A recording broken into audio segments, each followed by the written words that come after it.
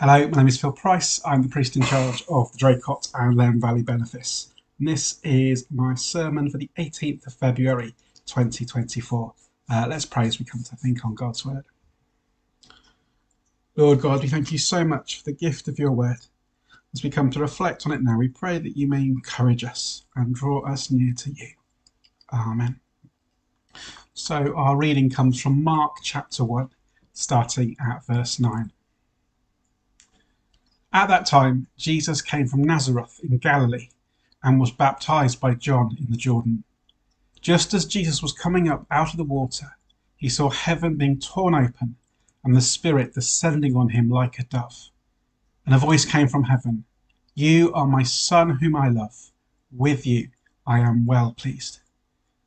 At once the Spirit sent him out into the wilderness, and he was in the wilderness for forty days, being tempted by Satan. He was with wild animals, and angels attended him.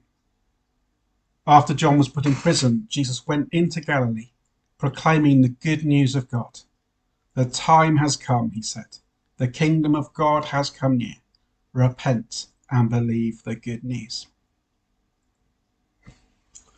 As you may know, or at least have worked out uh, from my attire, I am a Welsh rugby fan. Uh, but I live in a house uh, with three women who have no interest in rugby whatsoever, and for the most part are quite baffled by my interest and passion. Uh, I do try very hard to enlighten them uh, but with not much success, it must be said. A few days ago, I was having a conversation with Millie, my eldest daughter, about rugby and being a rugby fan. Sorry, which I think will show you the challenge that I have in this regard. Should probably explain at this point that Millie is a child uh, who has quite a very literal uh, way of viewing the world. Can't remember exactly how the conversation started, uh, but I must have said something like, we almost won, uh, referring to the Wales England game last weekend.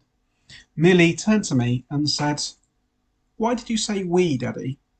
Well, I explained, I'm Welsh, and that makes the Wales team my team, so it's we. But you're not actually on the team, Millie said. No, I said, I'm not a player, I'm a supporter. So you don't actually play in any of the matches? No. So what do you actually do to help the team? Well, I support. How do you support? She asks. Well, I, I watch, I say. Uh, and at this point, uh, Millie lost interest in the conversation and she just gave me a kind of withered, pitying look and went back to her book. They say, they say, don't they, out of the mouths of babes because she's quite right, isn't she? I can walk around with my Wales hoodie or a Wales rugby shirt and say things like, you know, 2005 was my favourite of our Grand Slams, or actually looking back at last week, we were robbed because England's second try was clearly from a forward pass. Uh, but actually, none of those two things are in any way related to my contribution to the team, are they? I may well have bought a polo shirt that says Wales 2013 Six Nation Championship winners on it.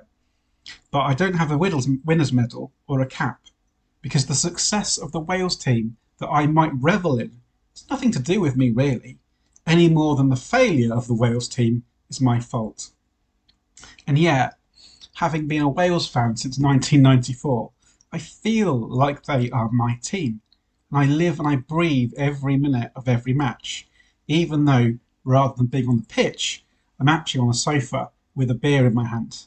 Their success feels like it's my success, and their pain feels like my pain, which makes absolutely zero sense when you try to explain it to a 12 year old girl who isn't interested in sport. But it sort of makes sense in my head. So, what I'm about to say may make sense if you or have ever been a sports fan like me. Uh, there's a danger that maybe it will feel somewhat alien if you hate watching sport and feel no affinity with a sports team. But please do bear with me because I think this does say something into our passage. You see, our gospel reading is quite an interesting one. It's a really short one, but there's an awful lot in it. The vast majority of what we find in our gospel reading is about Jesus. we learn a lot in our passage about who he is.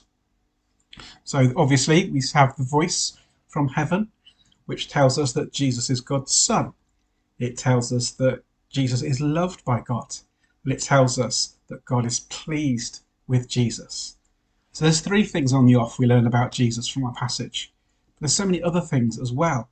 We see the Holy Spirit descending on him like a dove, which might sound like a pretty little image, but actually it's packed with symbolism and meaning here, and it's saying something really quite powerful. You see, the Jews were waiting for the Messiah. Messiah literally means anointed one. So the Jews were waiting for someone whom God would anoint.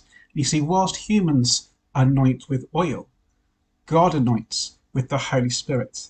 So this simple image of the Holy Spirit descending on Jesus like a dove is actually a really massive pointer saying, look, Jesus is the long awaited Messiah. We're also told that after Jesus was baptized, the Holy Spirit led him into the wilderness. So we see, we learn something else about Jesus. We learn that he is obedient. And then after 40 days in the wilderness, Jesus comes out and preaches that the kingdom of heaven is close at hand. What, what does that mean? Well, that means the kingdom is directly related to Jesus himself. The king is present, so the kingdom is nearby. The kingdom of God is to draw near spatially in Jesus' person. So our reading tells us that Jesus is a king. It tells us he's the Messiah. It tells us he's the Son of God. It tells us he's loved by God. It tells us he's obedient. And it tells us that God is pleased with him. There's an awful lot that can be extrapolated about Jesus from those seven short verses. But it does bug a question, doesn't it? So what? What does Jesus' identity have to do reading with, uh, us, with us reading about this 2,000 years later? Well, I think the answer lies right at the end of the passage. Repent and believe the good news. What is the good news that we are to believe? This may sound like a bit of a tangent, but bear with me. There's a reason uh, why I'm taking this tangent. Uh, I wonder if you know what a meme is. Uh, just in case you don't, uh, here's the online dictionary definition of a meme. It defines a meme as an image, video, piece of text, etc., typically humorous in nature, that's copied and spread rapidly by internet users, often with slight variations. Uh, that's a definition of a meme, meme, and there's hundreds of them. Uh, but I want to talk to you about one. Uh, it's quite a sweet one uh, that you might come across, and it's called the "Find someone who looks at you like" meme. And in this meme, you have pictures of someone, um, often but not always someone famous, uh, looking at someone or something else with a really loving expression on their face, and it's accompanied by the text "Find someone who looks at you like." and then a description of the picture. So I'm going to pop some examples up um, on the screen now so you can see uh, what we're talking about.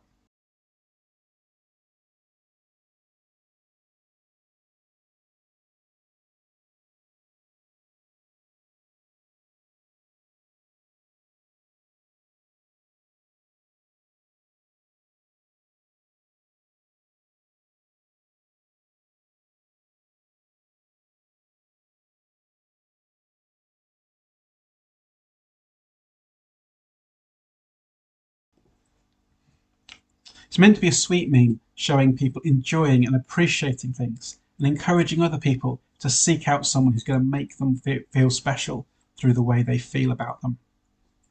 So, so a wee bit twee, uh, but it really does highlight the fact that actually I think all of us have a desire to be loved and to know that we are loved.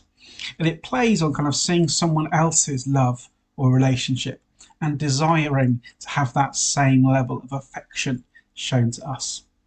And I think our passage is a bit like that meme, in that what we see in Jesus' baptism is God the Father looking down on God the Son and loving him. Don't forget those words You are my Son, whom I love. With you I am well pleased. And the good news of Christianity is that God looks down on us And he loves us just like he loves Jesus. Not because of anything we've done, but because of who Jesus is and what Jesus did. The good news of the Christian faith is that because of Jesus, when God looks at us, he doesn't see our failures, he doesn't see what we've got wrong, he doesn't see a trail of broken relationships and problems left behind us, he doesn't see our sin. He sees Jesus. He sees the Son whom he loved and with whom he is well pleased. He sees the obedient Son who went out into the wilderness for 40 days to be tempted. And whilst we may feel proud of making ourselves making it through Lent without chocolate or alcohol or whatever, Jesus went into the desert and went without everything. And that's what God sees when he sees us trying to do Lent. And that's really good news. I think it's a really, really powerful antidote to a lot of the problems that we have gotten ourselves into as a society. One of the big problems that our society is struggling with right now is the problem of identity. Who am I? How do we answer that question? Well, the good news of the Christian faith is that, as St. Paul puts it in Galatians, in Christ you are all children of God through faith. For all of you who are baptized into Christ have clothed yourselves with Christ. There is neither Jew nor Gentile, neither slave nor free, nor is there male and female for all of you are one in Christ. If you belong to Christ, then you are Abraham's seed and heirs according to the promise. We don't need to worry about working out who we are, because the good news of Jesus is that because of him, we are children of God. Because of Jesus, when God looks at us, he can see blameless, good children whom he can be proud of. We've found someone who looks at us like God the Father looks at God the Son. In closing, I want to briefly return to my conversation with Millie about the Welsh rugby team. Because she's right, I'm not a member of the Welsh rugby team. No matter how many replica shirts I buy, that won't change. I'll never take a conversion for Wales. Neither will I put my body on the line to stop England scoring a try against us. Not only do I lack the athletic ability for that, I'm not entirely sure I want to risk concussion for the sake of stopping another team scoring. That's why I don't have any uh, Wales caps, but the players that I support do have Wales caps. I do enjoy it when Wales win, it makes me happy. As a supporter, I do share in their success to an extent. That's only really basking in someone else's glory and achievements. They aren't really mine. The Christian faith, on the other hand, is different because on the cross, Jesus literally hands his achievements over to me. I haven't done anything to earn God's favour and Jesus' reward any more than I've done anything to win a Grand Slam for Wales. But the Christian faith means that I don't simply bask in Jesus' reflective, reflected glory. Jesus shares his glory with me. It's as if I actually have a Wales cap, earned and gladly given, genuine and not bought off eBay. But I have a genuine, real, earned Wales cap, despite having never actually taken the field to earn it myself. That's what Jesus can give me. It's not what the Wales rugby team can give me. Let's pray. Lord God, we thank you so much for your grace. Thank you that you offer us acceptance through Jesus. Thank you that when you look at us, you see Jesus and you are well pleased. Please help us to live lives that reflect that, live lives that are the lives of people who can be secure in our identity as your children. Status won through Jesus on the cross. Amen.